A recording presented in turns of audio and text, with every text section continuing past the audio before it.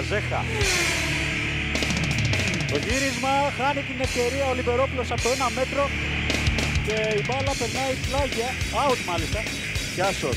Πέντε παίκτες Παθηναϊκού εκτός περιοχής, το σούτ του Πιάσου out. Λιμπερόπουλος. Από το λάθος στην άμυνα του Άρη πρέπει να βγάλει μια πάσα εκεί όπου έρχεται και σκοράρει ο Χριστόφ Βαζέχα 0-1.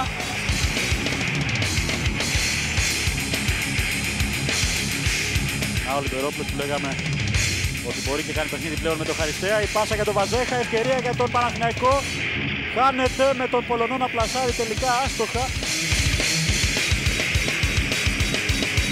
Πέντρα για τον Κατσιαρό, το γύρισμα προλαβαίνει ο Χένιξεν. Η μπάλα στα χέρια του Νικοπολίδη.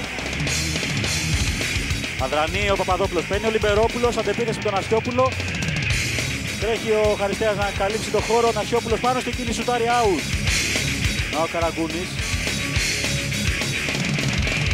Λιμπερόπουλος, το σουτ γκολ 0-2. Πολύ έξυπνο σουτ πάνω στην κίνηση. Ο Λιμπερόπουλος σκοράρει και πάλι στο Χαριλάου για δεύτερη συνεχόμενη χρονιά.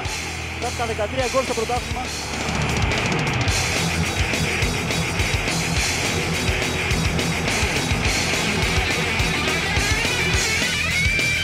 Το φάουλ με τον Τζερίδη, ο Νικοπολίδης στη δεξιά του γωνία